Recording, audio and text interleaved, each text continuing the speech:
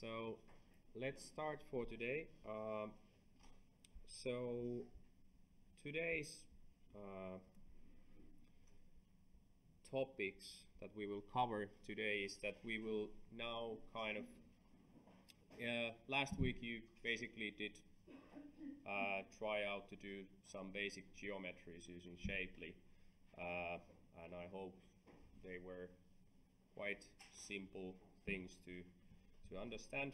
Um, we could maybe go through the exercise if you had any questions about it, but maybe first the overview of, of this week. Uh, so as said, we will I will introduce you to this uh, Python module called GeoPandas, which is really great for doing GIS. Uh, many many different kind of GIS tasks uh, in in Python, mostly related to vector based uh, stuff that you can do with GIS. Then the second uh, kind of larger topic today is to uh, see how you can manage map projections. So we will introduce you to the uh, geographic coordinate system uh, and, and how you can deal with those using GeoPandas and,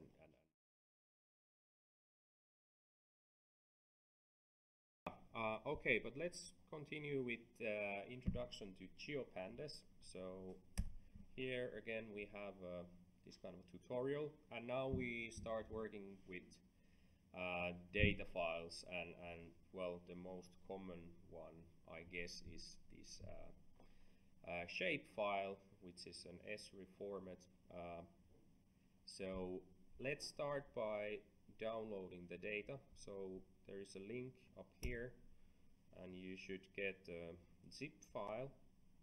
And I will I will now download this into my computer save and then well there is a example how you can uh, unzip that using Linux or Mac but in Windows unzipping stuff is really easy with this 7-zip. I guess every computer, at least the co university computers used to, should have these. Uh, I will extract it to the data folder and here we have a shape file called damselfish distribution. So this is a fish and the distributions of, of it in in different parts of the world. We will shortly see how does it look like um, the distributions I mean.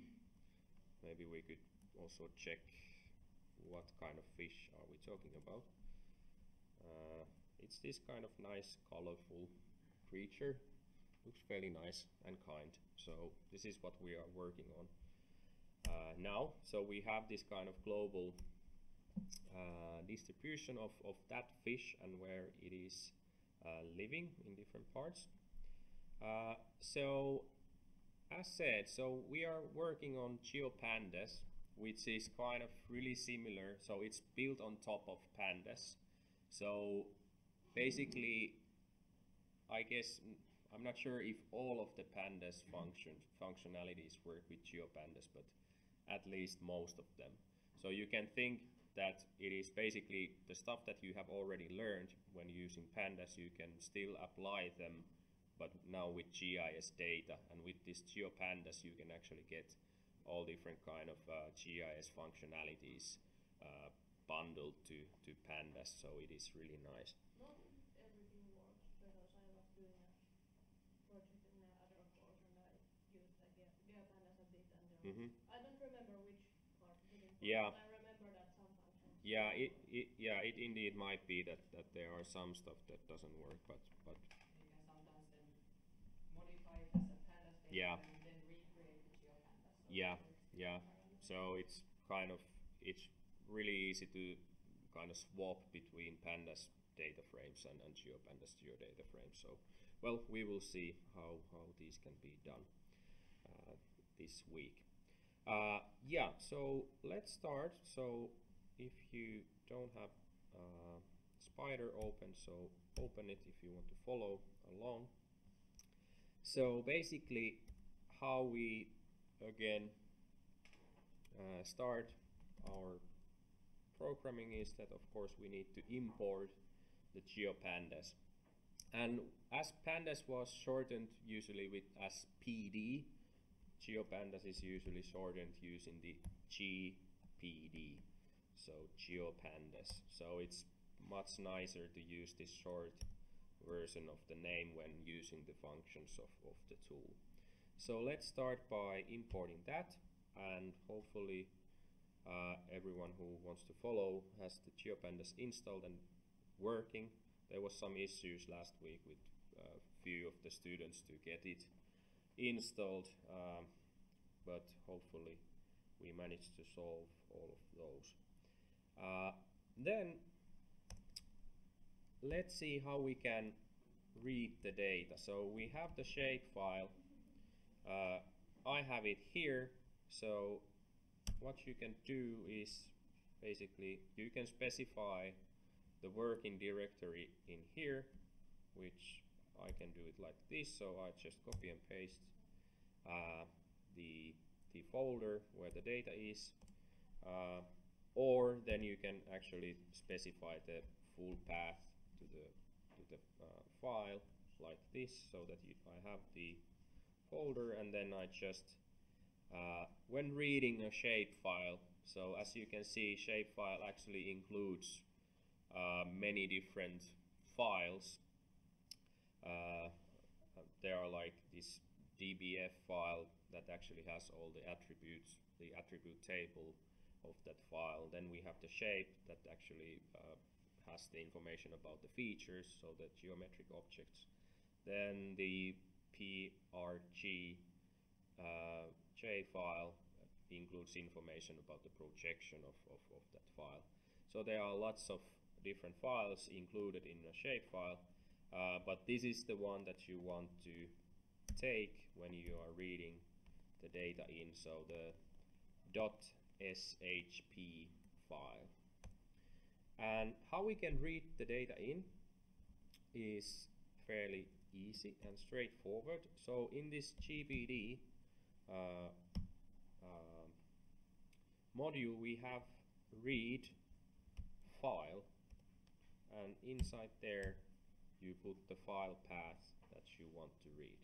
So it's really straightforward and, and even easier than when reading uh, for example CSV file with uh, with pandas.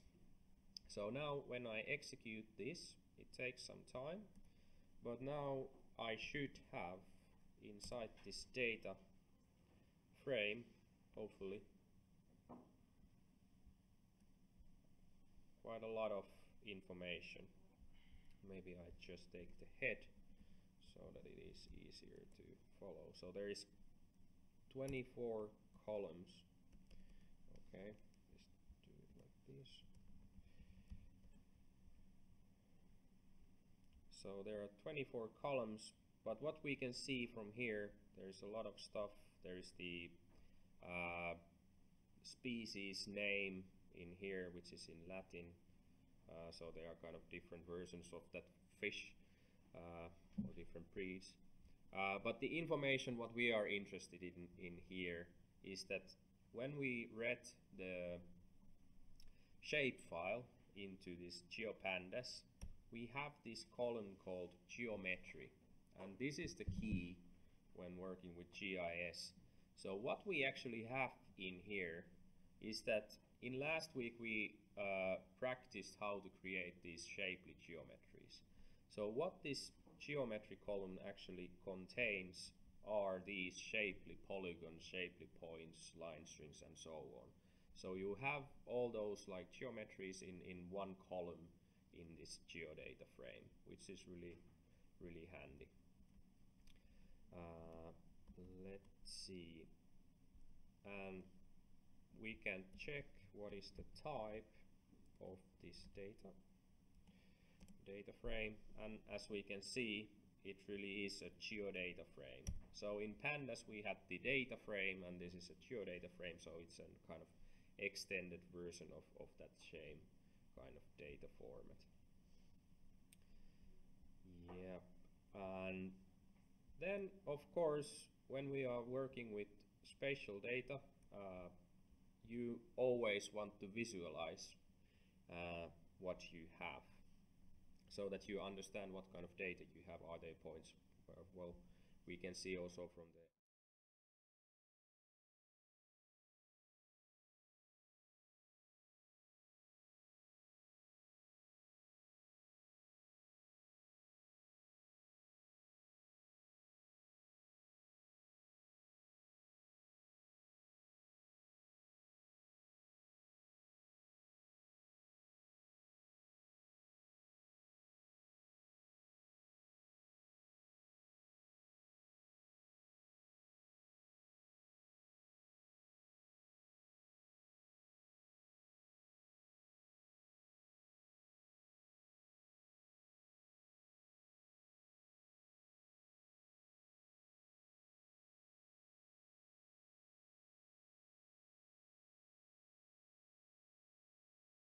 we can take a look.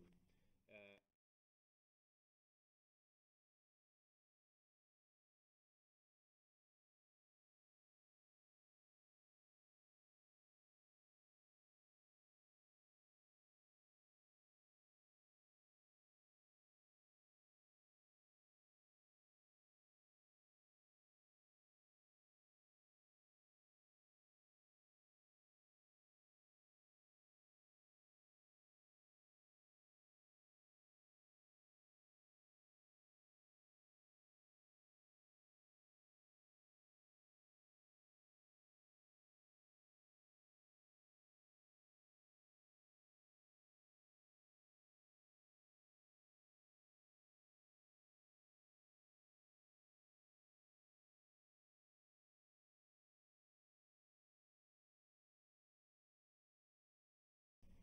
So just to demonstrate, I just plot the first five uh, elements from here.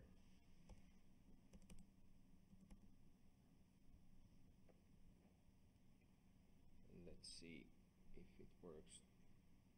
Yeah. So like this, you will end up having a map of, of your features and, and it's good to check always what you have. Of course, you can check the data also using some other GIS uh, softwares, but just showing that it can be done quite easily in GeoPandas as well. Uh, so now we kind of took a look how you can actually uh, read a shapefile.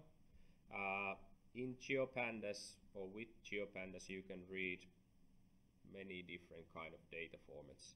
So shapefile is the most common one I guess, uh, but uh, GeoJSON for example is really common uh, data format for GIS data as well. Uh, KML, that is a Google uh, standard, uh, that can be also, so all these can be read from GeoPandas.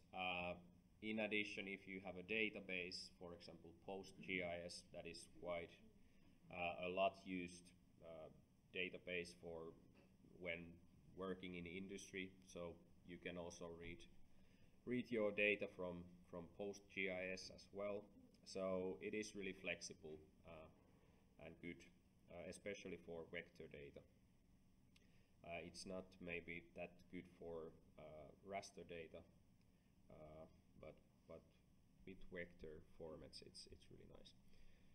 Cool. Uh, but yeah, now we can read. Uh, but let's also quickly see how you can write.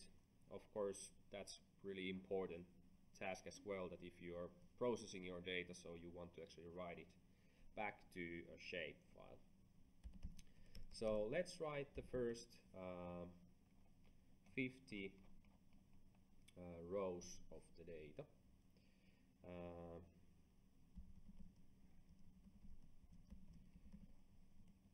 so let's first specify the output path. So uh, in a similar manner as when writing data from pandas, uh, GeoPandas works in a similar manner. So what we need to do is to specify the full output path where we want to write the data into. Uh, so we have the di uh, directory path and then we give some name.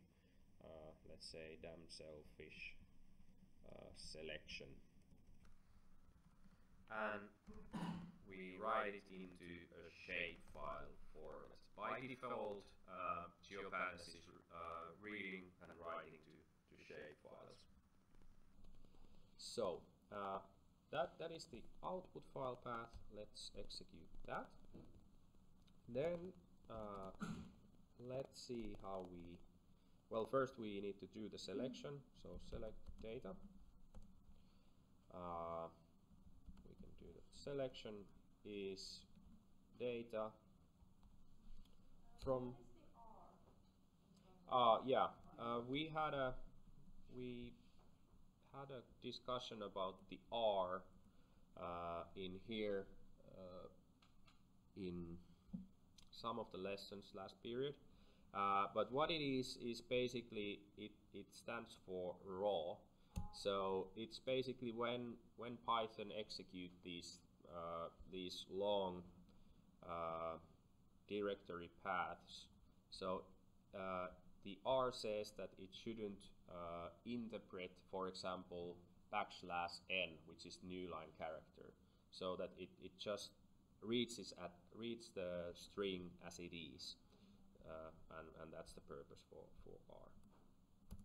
Uh, this is critical mainly in, in Windows. So in Linux uh, and Mac, you don't have these problems because the file paths are actually uh, separated with uh, slash or the yeah so this is only Windows specific problem. Uh, or feature maybe not a problem. So uh, let's select the data. So how we were able to select some specific rows from our data frame uh, is to specify it like this. So inside the square brackets specify that starts from 0 and end in 50 uh, so now we should have the selection as this. Uh, and we have 50 rows in here. Uh, actually just to demonstrate you can also do if I remember right you can also use data.head so the same function that you use for showing the data you can actually make a selection. Let's this is, uh, haven't done this for a while, but I guess if I remember right, it should work. Okay, this Spyder is doing some tricks today. Uh, so yeah, so also this works. And this is quite nice for, for example, selecting the last uh, 50 rows with the tail function. So just that you know that it's a trick that you can use. Cool, uh, so now we have the selection of data, so let's see how we can write it. It's also as simple as uh, when reading the data, write the data to disk.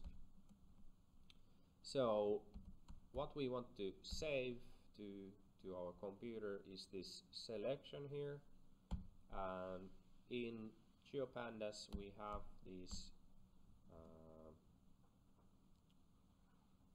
to file command and this you and inside here you specify the output path of of the file that you want to save and we determined it here earlier. So we now should have this damselfish selection shape file. And let's see when we do this.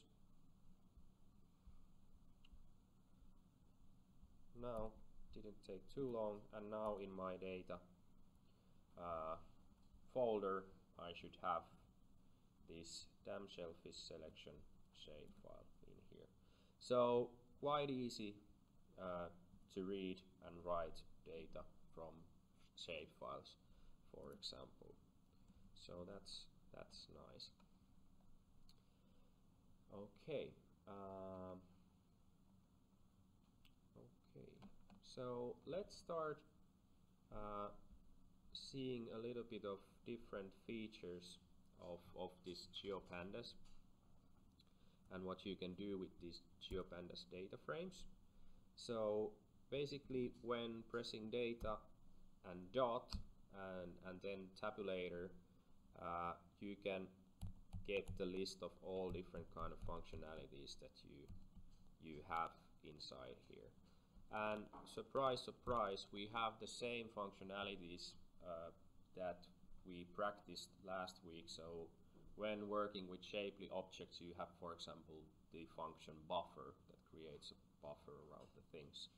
So what is really nice in in GeoPandas is that basically you can just feed your whole data frame inside this buffer or just certain selection of your data frame into this buffer function and it will automatically create a buffer around all these geometries that you have have in the in the data frame. Then we have centroid and and well all different kind of functionalities. Let's start uh, doing uh, some stuff. For example uh, what we could do is that we could print out the areas of, of these uh, polygons that we have in this selection. Uh, just to demonstrate you that we can also use the same that we have used the for loop for doing things. So in a similar manner as in pandas, you can say that for idx row in selection uh, dot iter rows so when working with pandas data frames and geopandas data frames, uh, you needed to use this specific function called iter rows to actually loop over these different rows in the data frame. So using only like in basic Python programming, you just specify for uh, index in some list, for example. But but in in pandas and geopandas, you need to use this iter rows function to do. Uh, but what we can do here is basically, for example, do a simple calculation. So we can specify that I want to calculate the polygon area. And when we iterate over the rows, we can get the uh, geometry of that specific row by specifying row and inside the square brackets the geometry and then if we want to have the area you can just say dot area. And now we should have the area of that polygon inside that. Then we can print out uh, for example that the polygon area at index 0 well at index where we are moving is this uh, dot 3f this is something that you haven't seen yet but now you will see. And then we specify index and area. I will first do this and then I will explain a bit what will happen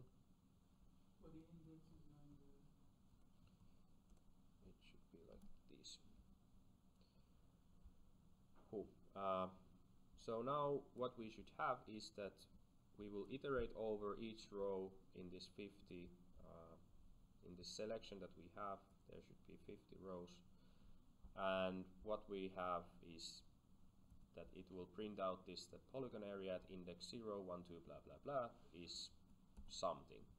Uh, and if I quickly explain what actually happens here so indeed, first we calculate the area for each of these geometries. So actually what we are having here, we can for example take a look. So I will just show you. So we have the row in here uh, with all different attributes of that single row in our data frame. And if we get the row geometry, what it actually gives you is the actual, the shapely geometry of, of that row.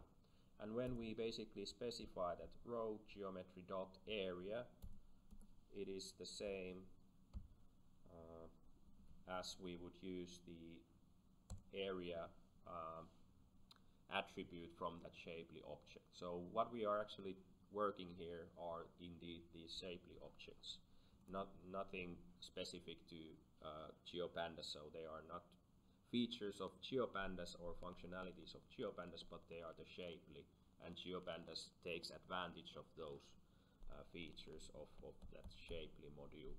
So you might now understand that understanding how shapely works is quite uh, important also uh, in terms of using using GeoPandas. Uh, and then what these weird looking things here and this dot format does. Uh, have any one of you seen this before? Yeah, a couple of you. Uh, so these are kind of uh, really useful. They look a bit weird, uh, but they are really useful for formatting texts. So what happens inside here is that we basically specify something that we want to read, so polygon area at index, and then we have these curly brackets and this number 0 inside here. And then we continue our text is and then we have another curly brackets here with number 1 and then this colon and then these funny uh, characters here. But what actually happens inside here is that we when using this dot format function which is one of the basic functionalities of Python it is possible to insert the values for example what happens here is that we insert the values of the index inside this uh, where the number is zero because this is basically uh, so we have a list of these values inside here. So this is at index 0 so we will insert that there. And then the polygon poly area uh, is basically inserted here at index 1. We could also do it like this that we actually specify or write again the index like this. So it's quite handy that you can basically use the same attribute multiple times inside this uh, print statement. So now we would have uh, this kind of message. Polygon area at index 40 49 is 0 0.00 index 49 so this is what happens. So we insert these attributes uh, or these uh, variables inside our text. So this can be really really handy when formatting. I guess most of you might do something like poly then plus and then if you have a number you say that string id ide IDX and this kind of thing.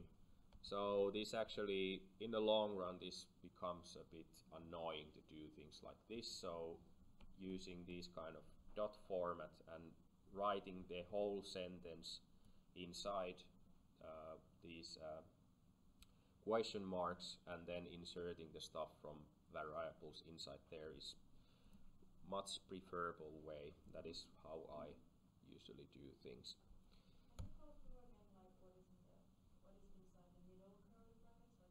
This one. Yeah. Oh yeah. We actually didn't went through uh, through the other part. So indeed that the first part of these basically specify the index. So this is the idx and as this is the number one we have the polygon area. So poly area attribute goes here. Uh, what we have behind here the column is that we have this dot tree f. What this does uh, is also really handy because we have um, let's take a look again a little bit. We have this poly area and as you can see we have really long uh, number with a lot of decimal places in here. So what that uh, dot 3f does is that ba it basically takes that number and rounds it with three decimal places and we can also change it to two decimal places or even zero which would basically give you a whole number in here. So this can be really handy. Let's see if we do it like this. So now we would only have a number zero here. Well that doesn't help too much. We want to have some information. Well that didn't do either. Okay Area oh yeah. Well it's it's so small number that that's why it doesn't uh, produce anything. But that's how it works. So you can actually round uh, values easily without actually doing anything to the original value in, in your variable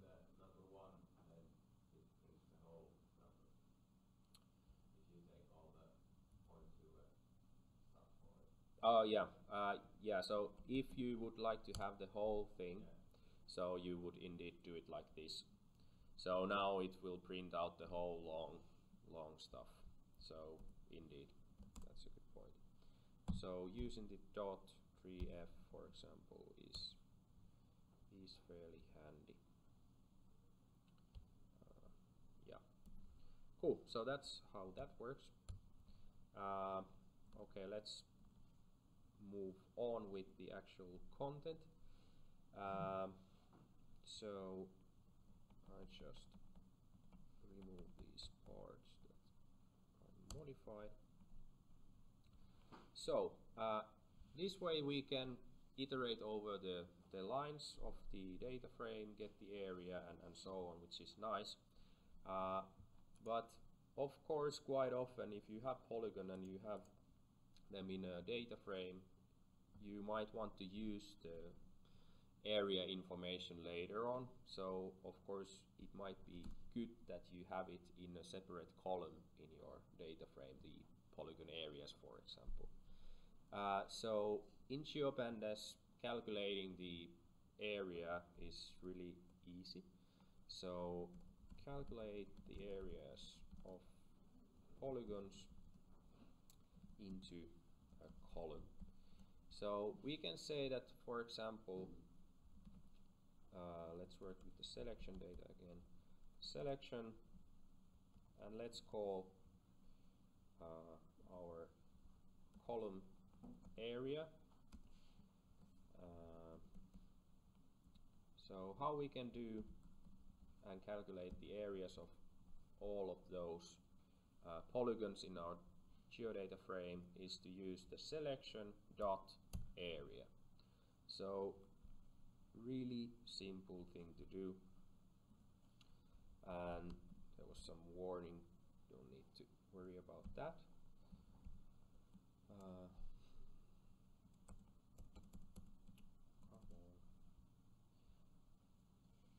so what we have here is that we now have a new column called area and we have the uh, area or the calculated area for each column or for each polygon in, inside here. So that's fairly handy to do. Uh, in a similar manner you could also use some other uh, features. You can do for example uh, let's see well for example centroid so you can get the centroids of all of those polygons really easily by just calling selection.centroid or data.centroid, the, the name of your geodata frame basically. And what you will end up is to have a new column uh, or series of these points if, if you're about to uh, extract those centroids from, from the data. So that is that is good, and of course uh, we can get uh, different attributes uh, from our geodata frame as well. So all the stuff that we we can, for example, they uh, uh, reveal or explore what is the maximum area of of that selection that we have or minimum minimum minimum area. So we can say that max area equals to selection uh, area dot max. And in a similar manner we can get the minimum uh, by similar doing min well we can also take the mean area to check what is the mean area of our selection. So in this manner you can use the same functions that pandas has and you should end up having uh, for example these kind of information out of your out of your geodata frame. So we can really easily get the maximum minimum and, and so on information from the data. Cool. Uh, then there might be situations and, and quite often there are situations where when you don't have a shapefile uh, that you can use to start working with. So you might have a CSV file or text file uh, and you need to read the spatial information, so the coordinates from that file, and then create geometries uh, uh, based on those coordinates. You already practiced that in the exercise 1, so you should have a, some kind of idea how that can be done. Uh, but in some cases, it might also be uh, a situation that you don't you just want to create a point for example so the centroid for Helsinki uh, inside inside the the script that you are using so let's do so that uh, what we will next do is to kind of create a geodata frame from scratch and see how we can uh, create a polygon uh, geometry for Helsinki Senate Square, uh, uh, which is, well, one area in, in city, the city center. So let's do that. Uh, so for doing uh, geometries, we of course need to have uh, the Shapely module imported. So import necessary modules so as you might remember, we can import the necessary geometric objects from Shapely by saying that from Shapely dot geometry import point let's also import polygon. So these two uh, objects are good for us for, for this purpose now. And let's also uh, import from Fiona Fiona is uh, one Python package that is uh, kind of doing a lot of stuff or it also can be used to read and write data from shapefiles and, and many different data formats. And Fiona is actually used in GeoPandas as well so it also works in the background. But this Fiona has this nice uh, little function called uh, from Fiona CRS import from EPSG so there is this kind of function in Fiona that will be handy for determining the uh, coordinate system of your data frame. We will shortly see that when we move on in the materials. Uh, but yeah, uh, how you can create an empty geodata frame, it can be done in a similar manner as creating an empty uh, data frame in pandas. So let's do that. Uh, what do I want to call? I want to call it we have data we have let's say it's uh, data 2 so gpd geo data frame so in a similar manner as I said we can create as, as in pandas when creating data frames we can create an empty geodata frame just by calling the geodata frame object. And here we basically what we will end up having is that we have an empty geodata frame in here okay so what we will first do is that as you saw earlier the important part of this geodata frame uh, geodata frames is the geometry uh, column.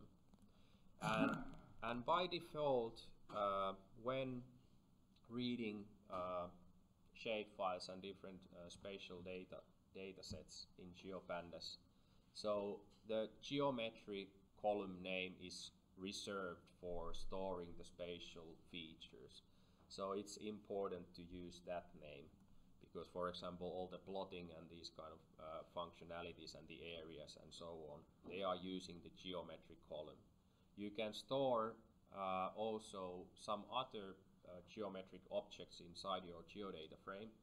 For example if you have polygons you can uh, calculate the different like the centroids of, of those polygons into different column in your geodata frame.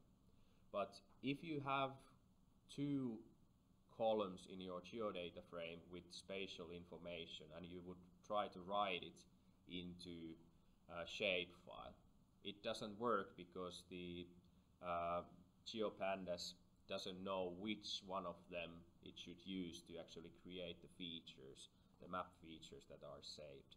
So just saying that you if you are having multiple geometric columns in your geodata frame, when saving the data, you need to drop and use only the one that you want to save, and the, the geometry column need, needs to be called as geometry.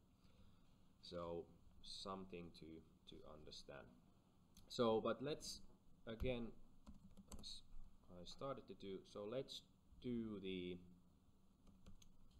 uh, empty column called geometry and we can say that geometry equals to none. So at this point we again or still have the empty geodata frame but now we see that we have a column called geometry but there is no data inside there.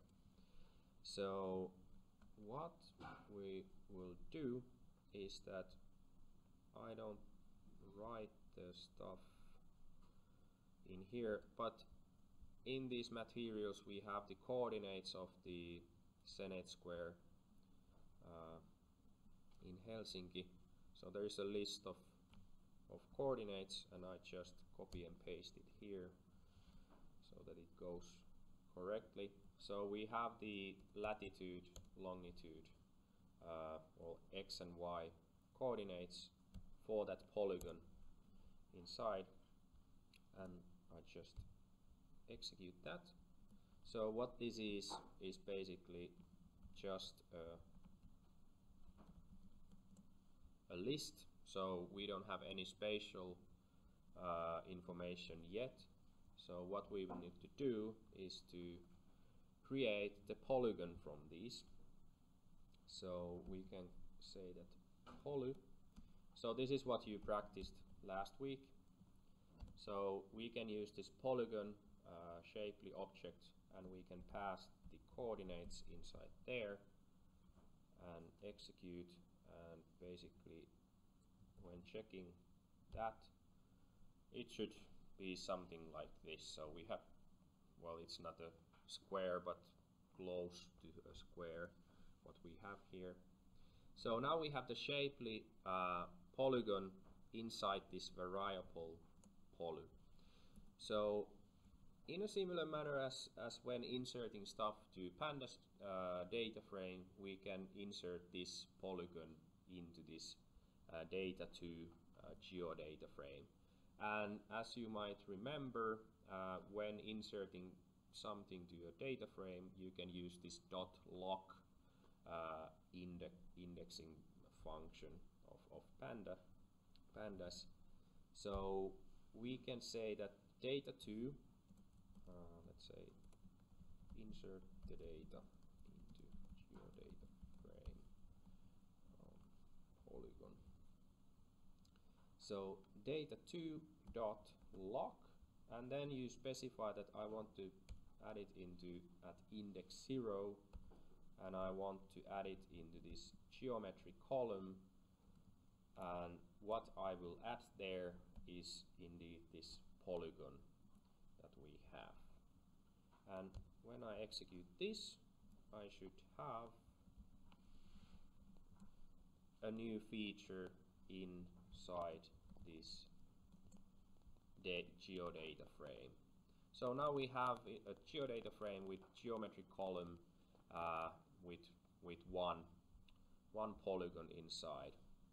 Let's also say that give a name for the for the feature. So let's add a new column uh, called location. Add description. So data2 dot loc 0 and let's uh, call it well, location equals to Senaatin tori. So in this way now we have uh, one geometric feature inside here and then we have some explanation that okay this location is equals to Senaatin tori. So uh, in this way you can kind of create well basically now you could save this into a shape file so you can really easily create uh, shape files by doing these geodata frames yourself. Uh, we can also check now when plotting this uh, uh, geodata frame you will see that well it produces this kind of polygon uh, that has the latitude and longitude information inside. Yeah, so it's fairly fairly easy to do do this stuff. But what is really important in GIS is that these uh, these are now just numbers. They are not located to a place on Earth. So what kind of what is the power or where does come the power of GIS data is that we have this uh, uh, coordinate system that ties the data into different places. So what we will still need to do is that we need to specify the projection of our data. So in these data uh, geodata frames we have this attribute called CRS which stands for coordinate reference system. So by default, as we can see, I, I executed the CRS of this data2, the geodata frame that we just created, but it didn't print out anything. So we, we haven't specified any projection uh, for this uh, data frame.